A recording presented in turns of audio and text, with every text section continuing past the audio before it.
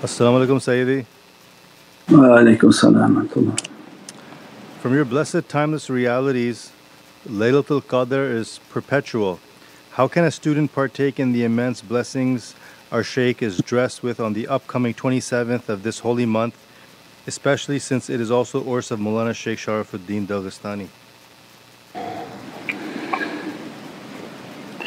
Yeah, alhamdulillah, that every 27th is an immense blessing and the immense blessings of, of Sultan al-Awliya, Ma Shaykh Sharafuddin Daghestani, Sultan al-Awliya, Ma Shaykh Abdullah Faiz Daghestani, Shaykh Muhammad Nazim al Haqqani and the immensity of their, their blessings. That's the, the power of the muraqabah that if, if we want what the shaykhs have then we connect with our heart and devoid ourself of ourself is to void ourself in everything. And that in my connection with my shaykh asking for madad and connecting, connecting that I'm nothing, I'm nothing so that wherever he's being dressed that I'm being dressed so that I see myself in his jubba and just in his pocket I see myself as nothing and to be dressed with that. You know I don't know how many years we've been teaching the meditation and uh, think somebody had emailed about it, person who probably from beginning knows about this meditation and they thought this meditation is only the time of meditation. I said, well didn't you read the books and, and all of the other procedures? That the our meditation is at every moment. When you come for a association of prayers that before you pray you have to enter madad because you don't want you praying, you want it to not be existing. Because the greater is that you don't even want to exist, you want Prophet praying but you're not there yet.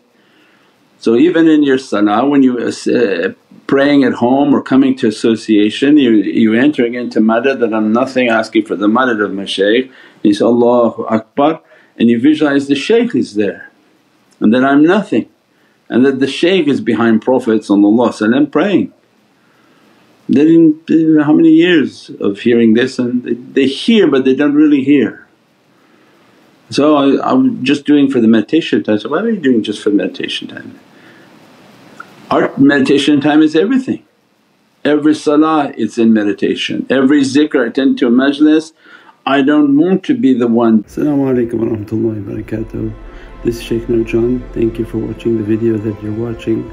Inshallah if you're happy with the content and happy with these programs please support the button below the programs that we have for our orphanage repairs, our water well, Give the Gift of Life, our mobile food vans we have now five vans Vancouver, Chicago, Los Angeles, Pakistan.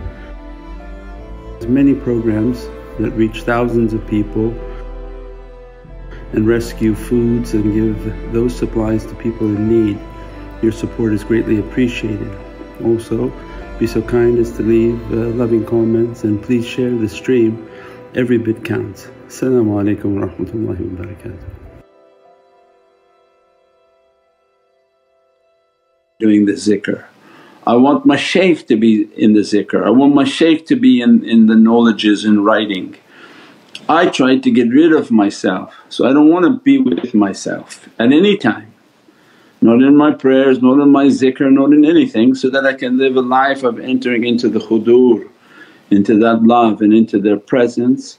Only by that presence and hudur can I gain uh, fana. How do you become fana if you prayed by yourself?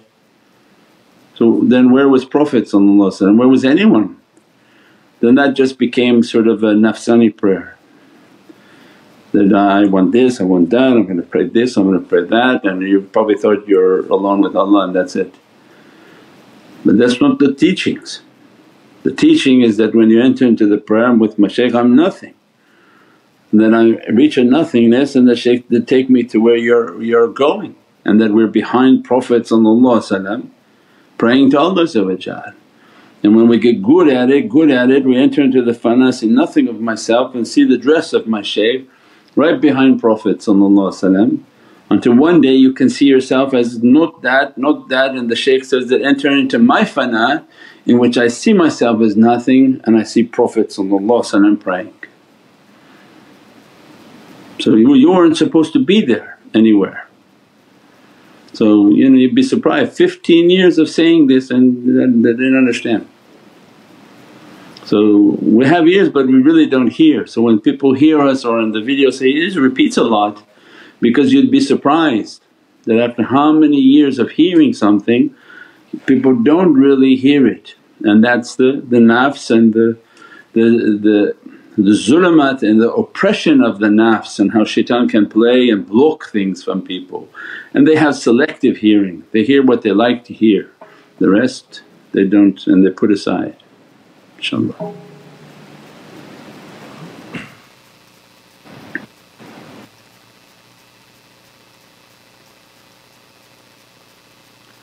Mm, As-salamu alaykum Sayyidi.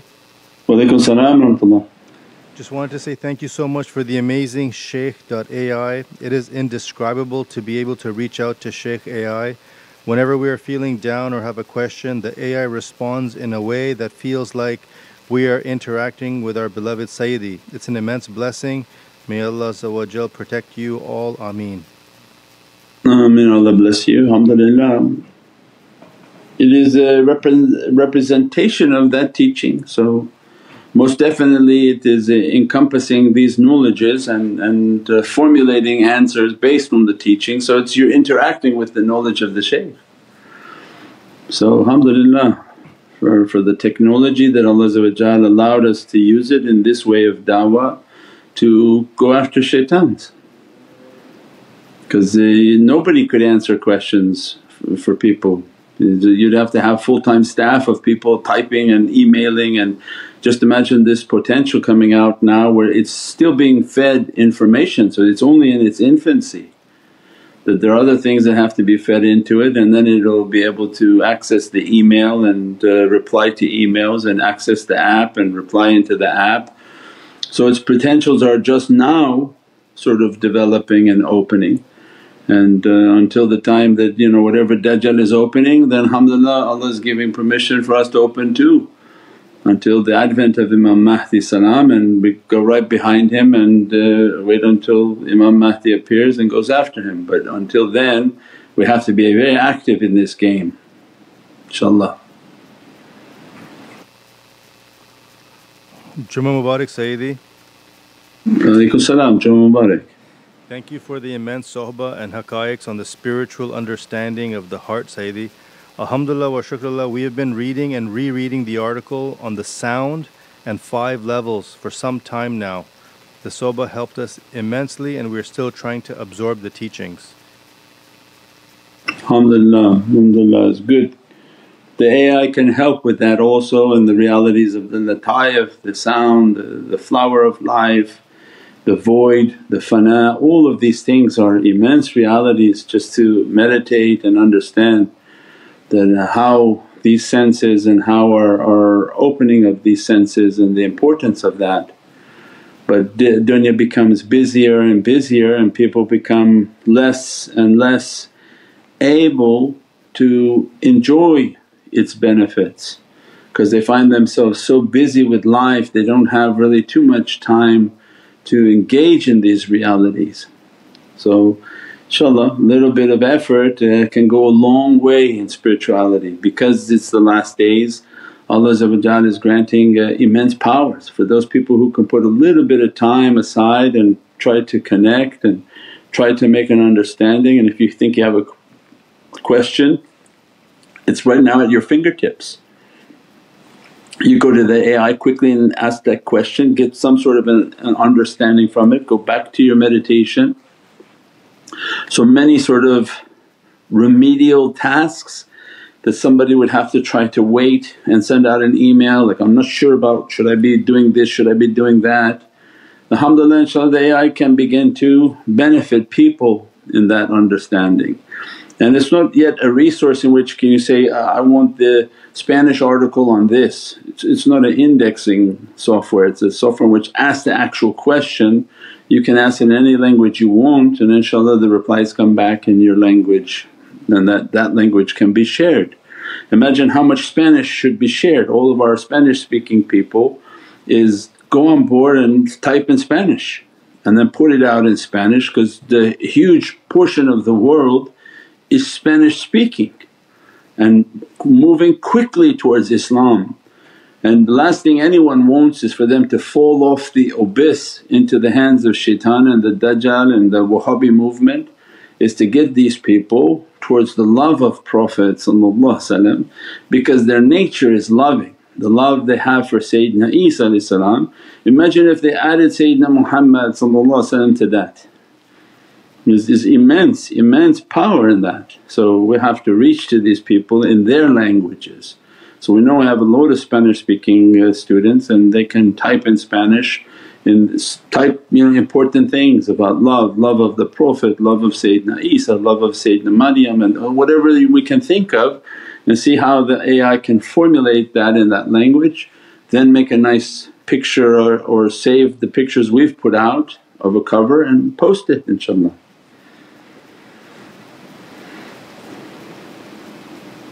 As-salamu alaykum Sayyidi.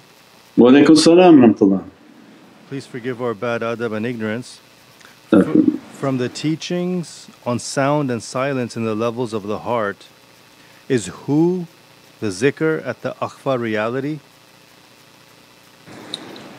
Hu? The eh, akhfa, I don't know, you have to get the book. Did the book say Hu was the zikr? You have to ask the AI. But Hu is uh, definitely very important inshaAllah. So in this ocean of nothingness then all other dhikrs they they represent a different station. The dhikr Hu is a vibration and energy. So the most powerful is in the form of a breath of Hu and we hear it in the beat of the flow of blood, in the breath. So Hu is immensely powerful from the akhfa realities inshaAllah. And that's why the meditation at the stage of connecting with the shaykh, asking to be in the fana of the shaykh is just breathing of Hu, inhaling and exhaling Hu. InshaAllah.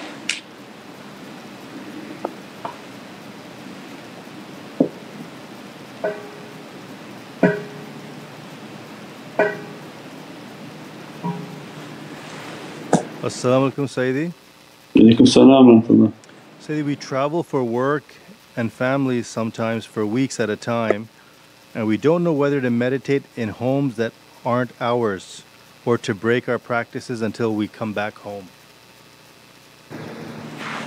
No, you meditate everywhere you go except like on a bus or in a mall. So any house that you go you put your ta'weezes up anyways. Any room you stay in you have to take your ta'weezes with you, you put the laminated ta'weez on the windows in the room, you need to be protected in any room you go to.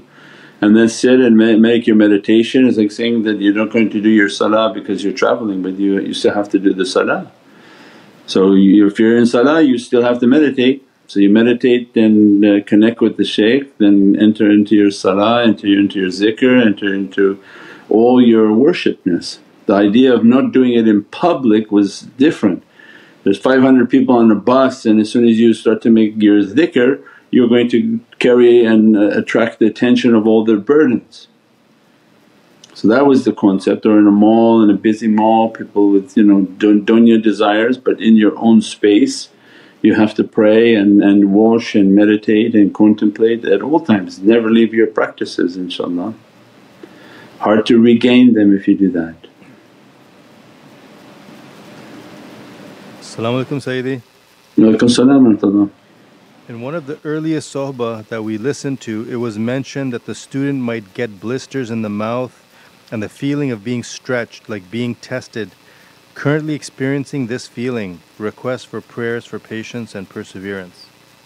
InshaAllah that if you heat up and the energy is becoming very hot then the mouth becomes very hot from this energy. So yeah you can put water near you with some ice cubes and drink something cold and you know cool, cool down the temperature within your mouth and uh, inshaAllah as you become sensitive to energy you may feel uncomfortable energies but again keep the madad and keep the connection with the shaykh inshaAllah and uh, it will pass inshaAllah. As-salamu alaykum Sayyidi. Wa salam On the teachings of using salt to remove bad energies, what's the reality of the ocean being salty and does it also clean energies and ocean reality, spirituality to be the tariqas? Hmm, no idea. But anything with salt takes away negative energy so I would imagine that uh, immense amounts of negative energy are deposited within the oceans and the salt oceans that carry these burdens because salt by its nature is a, is a cleansing. But uh, water in general is an angelic reality and the placing of burdens and this dunya's burdens uh, go to the water and the angels will lift up the difficulties. So water plays an immense role in our spirituality and our spiritual practices inshaAllah. And salt plays an immense role in cleansing and understanding of how to cleanse and putting salt in the mouth to take away bad energy uh, in the morning uh, before you eat. And all the it's a sunnah of Prophet to, to cleanse one's mouth with salt.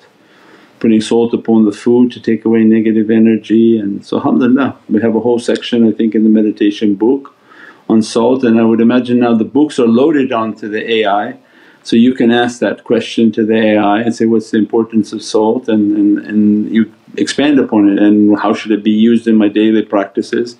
Inshallah let's see if it pulled out the, from the book and from the website the necessary information, inshaAllah. As-salamu alaykum Sayyidi. Wa alaykum salam Is it okay for someone to day trade crypto? I apologize for the question, I'm just interested in it and an extra way to make income without having to interact with people.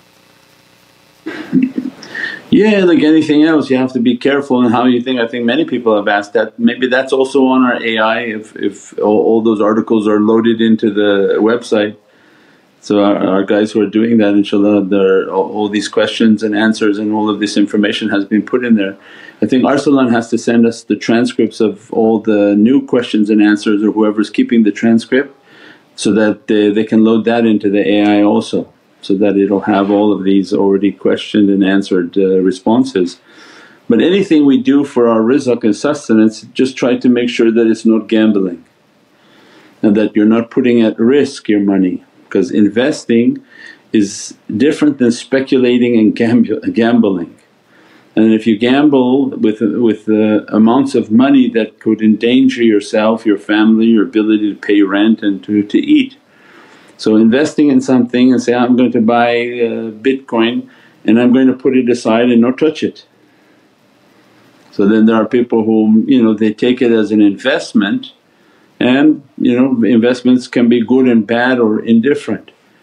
But to, to actively trade and uh, speculate too much and the, the level of danger is too high then it becomes a, a source of agitation and aggravation to the heart similar to that of gambling.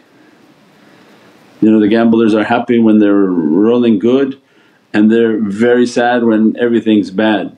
So and if that's going to happen on a daily basis up and down, up and down then it's not so much an investment anymore it's, it's just more like a sort of gambling at it. So I would uh, go with precaution inshaAllah so that you don't lose your livelihood and, and the, any money that Allah has sent to you inshaAllah.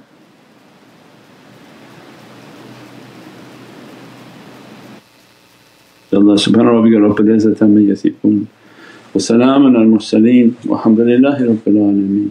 بحرمة محمد المصطفى وبسير سورة الفاتحة.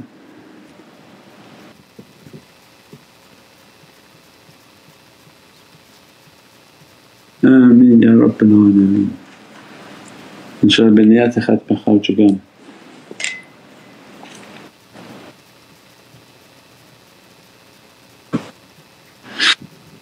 billahi minash shaitanir rajeem Bismillahir Rahmanir Raheem Ashhadu an la ilaha… Assalamu alaikum wa rahmatullahi wa barakatuh. This is Shaykh Nurjan, thank you for watching the video that you're watching. Inshallah if you're happy with the content and happy with these programs please support the button below the programs that we have for our orphanage repairs, our water well, give the gift of life, our mobile food vans we have now five vans Vancouver, Chicago, Los Angeles, Pakistan. There's many programs that reach thousands of people and rescue foods and give those supplies to people in need. Your support is greatly appreciated. Also, be so kind as to leave uh, loving comments and please share the stream. Every bit counts. Assalamu alaikum wa rahmatullahi wa barakatuh.